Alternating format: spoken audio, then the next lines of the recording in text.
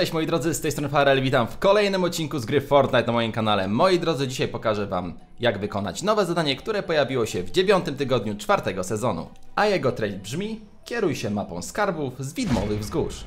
Zanim do tego przejdziemy, chciałem ogłosić, że organizuję dzisiaj dla Was dwa konkursy. Sami zobaczcie, co można wygrać. Aby wziąć udział w konkursie, wystarczy w sekcji komentarzy napisać frazę darmowy karnet bojowy, zostawić łapeczkę w górę oraz zasubskrybować kanał z dzwoneczkiem, aby nie przegapić wyników tego konkursu. Ale to nie wszystko. Do wygrania jest również nowa legendarna broń Nocturno o mocy 106. Konkurs ten jest przewidziany dla osób followujących mnie na Instagramie. Moja nazwa Gaming with Farrell. Schematu Nocturno nie można to być już w grze, albowiem był on dodawany do limitowanej edycji Ratowania Świata. Sam osobiście uważam, że nagrody warte są uwagi, więc bierzcie się do roboty i życzę Wam powodzenia. Moi drodzy, jak każde zadanie z gwiazdką jest banalnie proste.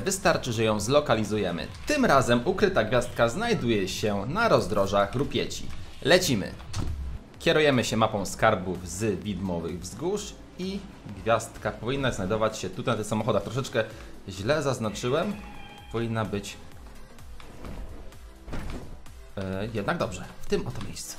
Jest, jak widzimy, gwiazdeczka znajduje się w tym miejscu. Szybko nazbierajmy tylko matsy. Wow, wow, wow. Chyba nikt nas nie zabije po drodze. Dzięki kumpel. Zdążyłem zabrać.